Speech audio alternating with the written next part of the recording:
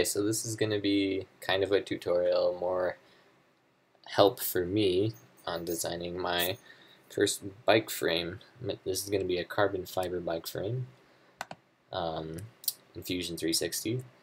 And I ran into my first problem early on. I've done a ton of things. You can see my history is full of stuff. I've hidden everything, but kind of what I was wanting to do is this pipe feature here um, I'm sure it's a really stupid mistake that I have no idea, but I have no idea really how to fix it.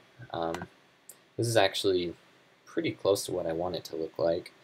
Um, obviously I need to add the second seat stay over here.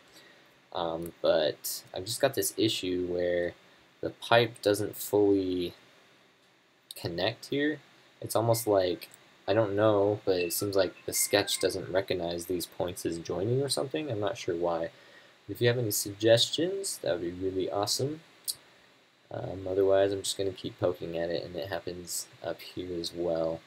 Um, you just kind of see it's just not connecting normal.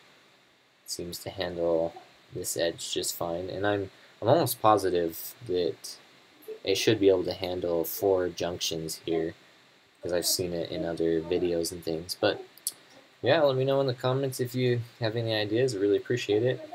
Um, talk to you later. Bye.